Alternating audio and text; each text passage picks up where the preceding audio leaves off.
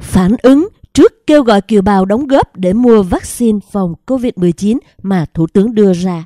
Kêu gọi từ chính phủ, Thủ tướng Việt Nam Phạm Minh Chính hôm 24 tháng 5 chính thức kêu gọi người dân cũng như các tổ chức trong và ngoài nước đóng góp để chính phủ mua vaccine phòng COVID-19 tiêm chủng cho toàn dân.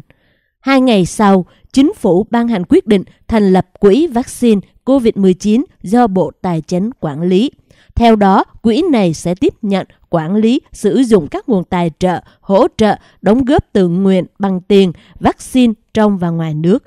Quỹ cũng tiếp nhận các nguồn vốn hợp pháp khác để mua, nhập khẩu cũng như nghiên cứu, sản xuất và sử dụng vaccine COVID-19.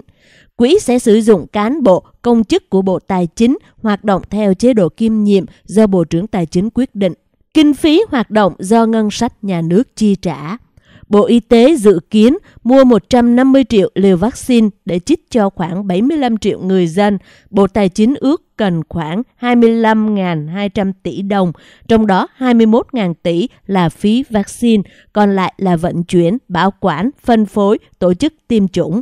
Ngân sách trung ương dự kiến phải chi khoảng 16.000 tỷ đồng ngân sách địa phương chi và huy động đóng góp của các doanh nghiệp tổ chức khoảng 9.200 tỷ đồng nguyên Thứ trưởng Bộ Tài nguyên và Môi trường Đặng Hùng Võ nêu quan điểm của ông về việc này. Đây là việc lớn, sức khỏe toàn dân đáng lẽ phải đặt lên ưu tiên hàng số 1. Nhưng thôi thì quyên góp cũng được, nhưng tôi cho rằng yếu tố minh bạch là yếu tố rất quan trọng để người dân biết được là mình được dùng từ ngân sách là bao nhiêu, các nơi đóng góp như thế nào. Ngân sách Việt Nam hiện nay rất eo hẹp, thường xuyên là bội chi, nợ công cao, rồi đến kỳ trả nợ nhiều món trước đây. Thành ra việc chi vào những việc mang tính chính trị thì ưu tiên hơn, sau đấy mới tới sức khỏe nhân dân, như tiêm vaccine chẳng hạn. Quan niệm của lãnh đạo như vậy thì người dân phải thích nghi thôi. Tôi cho rằng chủ trương quyên góp để tiêm vaccine cho dân trong lúc khó khăn thì cũng được, không vấn đề gì. Ngân sách nhà nước là toàn bộ các khoản thu chi của nhà nước được dự toán và thực hiện trong một năm để bảo đảm thực hiện các chức năng, nhiệm vụ của nhà nước. Có các trường hợp các khoản chi thu này kéo dài hơn một năm. Ví dụ, ngân sách nhà nước trung hạn là các khoản thu chi của nhà nước trong 3 năm.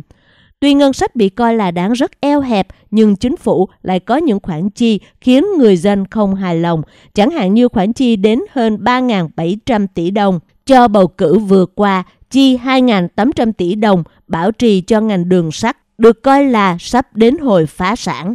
Những khoản chi ngàn tỷ xây dựng tượng đài, xây tượng Hồ Chí Minh, tặng phẩm hội nghị này, hội nghị kia mang tính hình thức. Kiều bào nghĩ gì? Theo ghi nhận của RFA, điều khiến kiều bào băn khoăn trước lời kêu gọi đóng góp của Thủ tướng Việt Nam là chính sách không minh bạch trong các khoản chi thu lâu nay của các cấp chính quyền. Anh Triều Dương từ Canada nêu quan điểm của mình. Thật ra trong tình hình cấp bách như bây giờ, đóng góp thì cũng được, nhưng quan điểm của em thì các con số phải minh bạch. Em thật sự không có niềm tin trong việc quản lý của nhà nước về số tiền đó. Làm sao chi tiêu cho đúng, cho nên là nếu kêu em đóng góp em cũng rất chần chừ, hoài nghi về số tiền em đóng có đúng để mua vaccine cho dân hay không. Chị Phương Diên sống ở Úc thì nói rằng khi cần đến sự giúp đỡ thì chính quyền kêu gọi kiều bào tôi là đồng bào, là khúc ruột ngàn dặm. Lúc bình thường thì họ gọi tôi là thế lực thù địch, chống phá, là phản động. Chị nói thêm, tôi sẽ không đóng góp, còn nếu đóng góp thì với điều kiện là ông Thủ tướng đóng góp trước đi vì các quan chức Việt Nam rất giàu có. Thứ hai, chính sách của Việt Nam không minh bạch, tham nhũng, hối lộ quá nhiều, tiền bỏ vô như muối bỏ bể, ngoài ra không biết họ mua vaccine nguồn gốc ở đâu. Quy định về chi ngân sách gồm nhiều khoản khác nhau, nhưng quan trọng nhất là khoản chi thường xuyên nhằm duy trì hoạt động của bộ máy nhà nước, khoản chi đầu tư phát triển nhằm tăng cường cơ sở vật chất và thúc đẩy tăng trưởng kinh tế, khoản chi trả nợ và viện trợ để nhà nước trả các khoản đã vay trong nước, nước ngoài khi đến hạn và các khoản chi làm nghĩa vụ quốc tế, khoản chi dự trữ quốc gia phục vụ việc dự trữ cho các biến động bất ngờ như dịch bệnh, thiên tai. Là một người từng nhiều năm về làm việc ở Việt Nam, anh Minh Tùng ở Hoa Kỳ cho biết mình sẽ không đóng góp, anh phân tích. Tôi sẽ không đóng góp gì cả bởi thứ nhất, tôi hoàn toàn không tin rằng số tiền đóng góp sẽ được chi trả cho quỹ mua vaccine mà nó sẽ lại rơi vào tay các ông lớn. Thứ nhì, theo thông tin theo dõi tình hình sản xuất, cung cấp thuốc ngừa COVID-19 được trích từ Global Health Innovation Center của trường đại học Duke ở tiểu bang North, North Carolina. Tính cho tới giờ này, Việt Nam đã ký hợp đồng mua được ít nhất là 80 triệu liều, trong đó 50 triệu liều Sputnik 5 và 30 triệu liều AstraZeneca. Việt Nam cũng đang thương thảo và sắp sửa ký thêm hợp đồng cho 131 triệu liều nữa, trong đó có 100 triệu liều Sputnik 5 và 31 triệu liều Pfizer BioNTech. Như thế có thể thấy chính quyền Việt Nam đã có ngân sách để mua thuốc, nhưng vẫn muốn nhờ vào dịp này mà móc túi dân thêm một mớ. Nói cách khác thì chuyện mua thuốc ngừa đã có rồi cả tiền và hợp đồng. Việc kêu gọi đóng góp chỉ là chiêu để ăn tiền của dân của vài quan chức mà thôi. Theo một số chuyên gia kinh tế, tài chính thì Việt Nam có ngân sách để mua vaccine, nhưng để mua cho toàn dân thì chắc chắn không có khả năng, do đó phải quyên góp. Chị Tường An từ Pháp cho hay, cá nhân tôi thấy chuyện này rất khó giữa tình và lý. Về tình, tôi thương người dân, mình không có tiền, không có hệ thống bảo hiểm y tế tốt để được chích ngừa như ở những xứ dân chủ khác. Liệu số thuốc mua được từ số tiền đó có đến được với người dân thấp cổ bé họng hay không?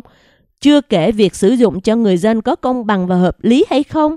Hay bán ra ngoài kiểu chợ đen hay ưu tiên cho đảng viên, cho những người có công với cách mạng, sự phân phối liệu có công bằng hay không? Chị nói thêm, cá nhân chị nếu giúp thì chỉ giúp với điều kiện số vaccine mua được từ tiền quyên góp phải được một tổ chức xã hội dân sự độc lập phân phối đến cho người dân, hoặc nếu do chính quyền địa phương phân phối thì phải dưới sự kiểm soát của một tổ chức y tế thế giới như Hội Chữ Thập Đỏ. Người dân Việt Nam vốn có truyền thống thương yêu, đùm bọc lẫn nhau khi hoạn nạn, nhưng chính sách không minh bạch của chính phủ khiến người dân không an tâm khi đóng góp. Quý vị và các bạn vừa theo dõi bản tin phản ứng trước kêu gọi kiều bào đóng góp để mua vaccine phòng COVID-19 mà Thủ tướng đưa ra do Ý Nhi Thời báo.di trình bày. Cảm ơn quý vị và các bạn. Hẹn gặp lại vào bản tin lần tới. Từ Berlin, Cộng hòa Liên bang Đức, chào tạm biệt.